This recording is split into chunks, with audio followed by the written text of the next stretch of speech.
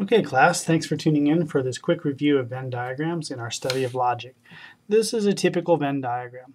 We have a box that includes our total universe, which we'll normally name what that universe is, uh, types of flowers, pets, whatever.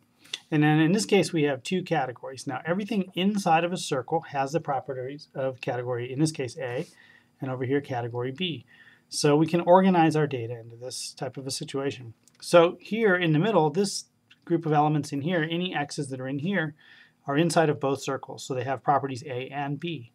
Over here, any items that would be outside of this circle but inside this one would have properties of B but not A.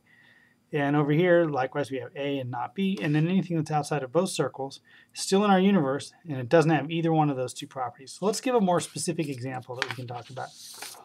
So this is a car dealership. They have vehicles on their lot, and we're going to break it into two categories, red and trucks. So red items or red vehicles are inside this circle, and vehicles that are trucks are inside this circle. So any x's, and x any dots that I could put inside this part here, or y in general, has both of the properties. These are red trucks. Anything over here, an item z, for example, if z was a particular item, is a truck that is not red.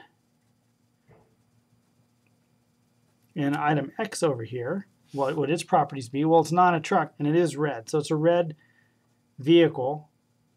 It's not a truck, maybe a red motorcycle or a red car. And how about an item W outside here?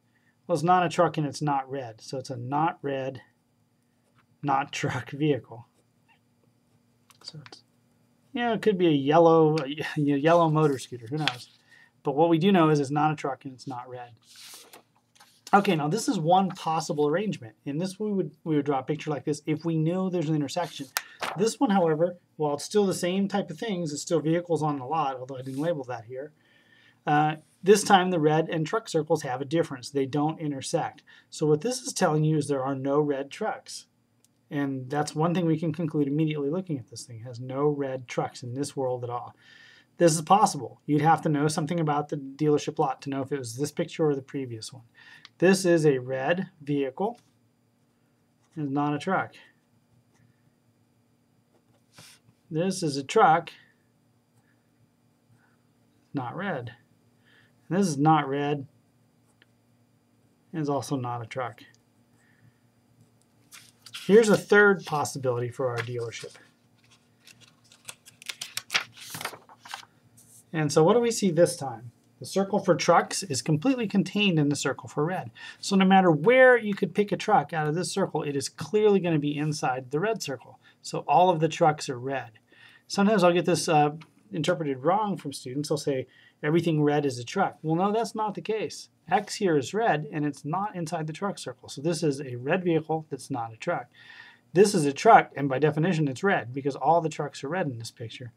And this is not red, and therefore we know for sure it's not a truck as we move into logic studies here in a moment.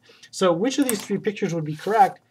The intersecting one, disjoint one, or all of them will depend on the world that the problem will set up in a logic discussion. Thank you for watching this first video.